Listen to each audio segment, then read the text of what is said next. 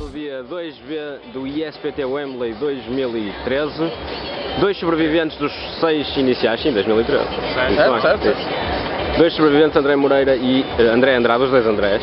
Como é que foi este dia, Douro? Eh, foi soft e correu bastante bem. Acho que tive.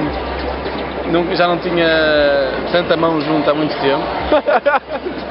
acho que está, está a virar. As cubos correram mal, mas acho que agora isto- estamos no, no ponto de viragem. Eh, e pronto, foi, foi, foi muito soft. A mesa também era relativamente acessível. Eh, Ficou bem, estamos cento- perto de 140, estamos bem. Outro André. Ah, correu bem também, basicamente não inventei muito, fiquei à espera que pintasse, pintou e eles entregaram. Foi isso, é- jogar É assim, este jogo não tem nada a jogar responder. bater, simples- jogar póquer simples e esperar que, que eles estejam lá dentro e lá buscar. Ainda não sabemos como é que vão ser os prémios amanhã, mas a expectativa é entrar a ITM relativamente fácil. É, vamos ficar ricos amanhã, se calhar deve, deve dar 500 paus.